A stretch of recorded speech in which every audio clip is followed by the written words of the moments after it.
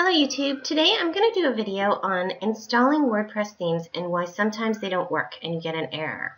So what I'm going to do is I'm going to first show you some of one of the errors that could, you could possibly see. So I'm going to go to add new and I'm going to upload a new theme. I'm going to browse to my folder and select a theme. I've got quite a few here to choose from so I'm just going to choose one here and I'm going to now install it. You always install a theme with a zipped format, never an individual folder. Here you can see a common error that's seen. Sometimes it says that you can't find the CSS file, and sometimes you'll get this error.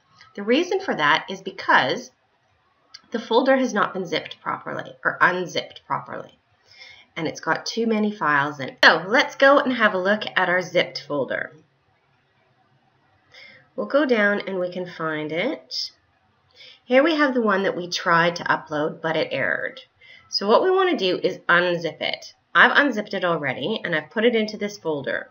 And as you can see, I'm going into it many levels. WordPress isn't going to like that.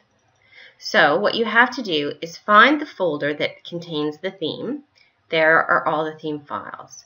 And then what you have to do is you have to rezip this folder and create an individual zip file with just the theme files. So what I've done is I've created a zip file here with just this folder. So then what I'm going to do is I'm going to go back to my themes and I'm going to upload it again.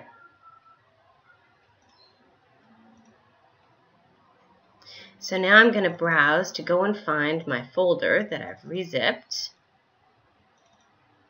There it is there and I'm going to install that. Now here you can see that my theme has successfully installed. I can activate it, preview it, or return back to the themes page. So just to recap, the reason why it's not installing properly is because there's too many files in the theme folder that you've downloaded. So all you need to do is unzip it, find the one folder that holds the theme files, rezip that one folder, and then install it, and your theme will work great.